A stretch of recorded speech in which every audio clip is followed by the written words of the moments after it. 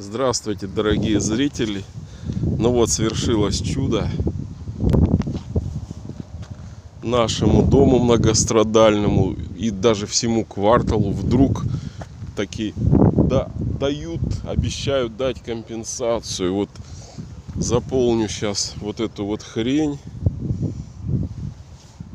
Отнесу, значит, целых 10 тысяч рублей, то есть 10 рублей. Ну, видите, тем не менее, вот вода из подвалов, все это вот продолжает как бы находиться.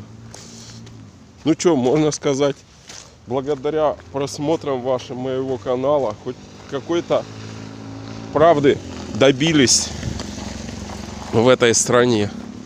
Это женщины предпочитают так ездить. Газами по помойкам отвлекся. Ладно, это будет вторая, вторая тема сюжета. Ну, смысл-то в чем, что многим жителям 66-го квартала вот эта вот помощь уже оказалась не нужна по причине того, что они не дожили благодаря воздуху, отравленному сероводородом канализационному, который пять недель почти тут присутствует. И вот вчера я был у товарища на похоронах. Похоронили мы его старшего брата, которому всего лишь 51 год. Представьте, ну у него было хроническое заболевание из-за того, что грязный воздух, диабет. И человек как бы еще вдобавок вышел в отпуск, думал, что он отдохнет вот на этом вот квартале, но увы. Вместо этого, вдыхая вот это вот, он получил хроническое осложнение, ну и дальше там цепочка фатальных событий, в том числе врачебная ошибка, неправильная диагностика. Ну это привет бесплатной медицине и скоропостижно скончался в субботу в прошедшую медицина оказалась бессильна при этом человека даже. Когда он первый раз его привезли на скорой да его отправили обратно домой своим ходом ну это нечто рассказывать дальше не хочется.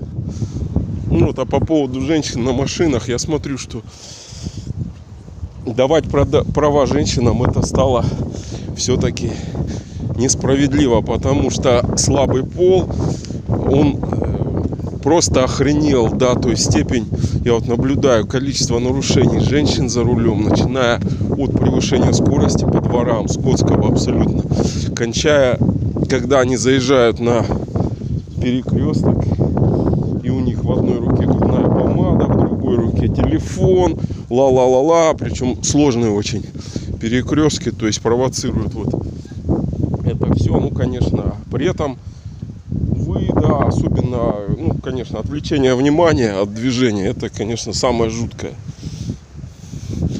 То есть степень, которую сейчас, чем моложе женщина за рулем, тем неадекватнее она себя ведет. То есть iPhone заменяет мозги, соответственно, болтовня в чатах и так далее. То есть вместо движения, вместо внимательного нахождение в транспортном потоке это нечто. Не знаю, как в других городах. Ну, вот.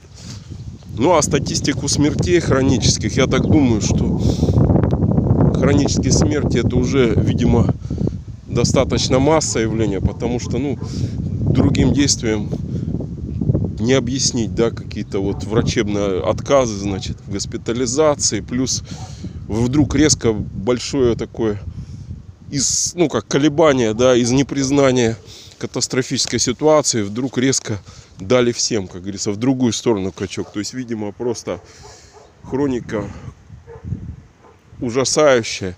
Ну, я не специалист, да, по похорам нам не учитываю. Ну, видимо, циферки-то зашкаливают, поэтому вот такая вот фигня, короче.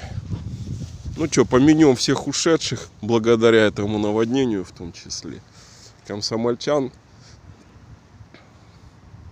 Дальний Восток. Вот такой вот, наверное, завершающий сороковой сюжет. в этой теме, в теме наводнения. Я его сейчас подкручу к плейлисту.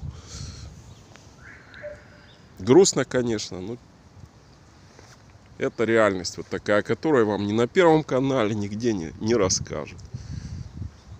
Ну, вот сейчас благодаря ветру воздух стал хоть почище, северный ветер, потому что ну, даже два дня назад тут еще просто невозможно дышать.